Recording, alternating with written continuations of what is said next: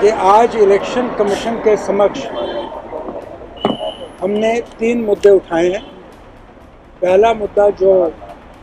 Bodoland peoples front के candidate ने अपनी पार्टी को छोड़कर बीजेपी ज्वाइन किया है, हमारा ये कहना है कि वो डिसनटाइटल्ड है to be in any way a part of the electoral process और इसलिए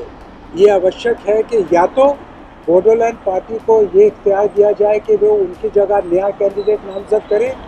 जो उनके उस पार्टी के चुनाव सिंबल पर इलेक्शन लड़े और वोट प्राप्त करें। या फिर उस इलेक्शन को काउंटरमैंड किया जाए। हमारा मुख्य हमारी जो मुख्य याचना थी वो ये थी कि देश के अंदर डेमोक्रेटिक इलेक्शंस की प्योरिटी को बरकरार रखने के लिए इलेक्शन कमीशन के पास सारे वो कानूनी अधिकार और सारी शक्तियाँ हैं जिसका उपयोग करके वो ये सुनिश्चित कर सकते हैं कि ये जो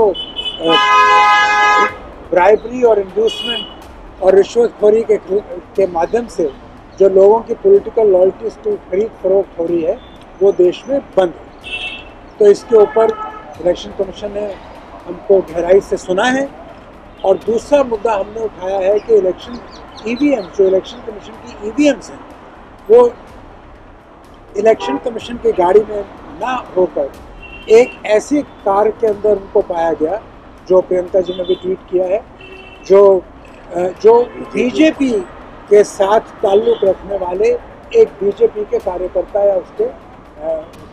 कैंडिडेट की गाड़ी कैंडिडेट तो ये कोई असाधारण बात नहीं है ये कोई कोई आसमान से ये स्थिति पैदा नहीं हुई तो हमने कहा कि इसके बारे में जाँच कीजिए। हमें ये जानकारी दी गई है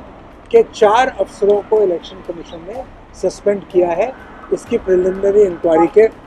इस बात की प्रिलिमिनरी इंक्वायरी के बाद, और वो इस इस मामले में जो गाइडलाइंस हैं,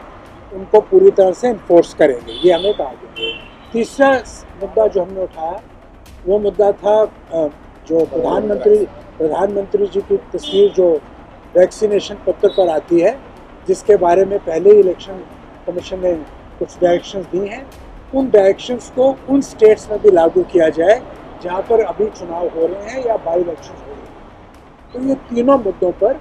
एक आ, आ, हमारी बहस हुई है हमने अपनी बात को रखा है। मुझे उम्मीद है कि इलेक्शन कमीशन अपना अपने विवेक के मुताबिक जो कानून द्वारा शक्तियाँ उनको हासिल हैं उनका सदुपयोग करके देश में राजनीतिक